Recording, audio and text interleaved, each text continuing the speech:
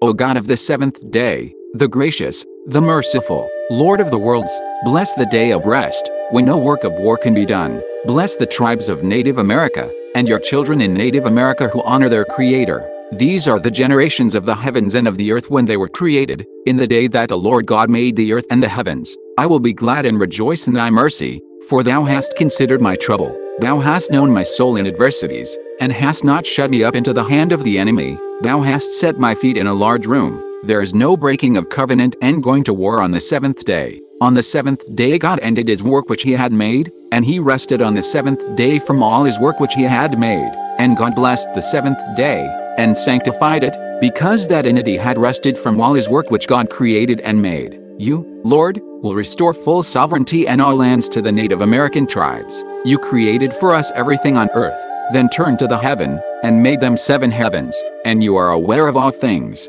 Amen.